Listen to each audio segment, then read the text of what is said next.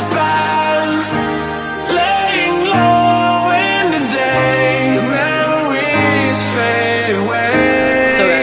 I have made my choice. It's gonna be a surprise, and we'll see you at the field.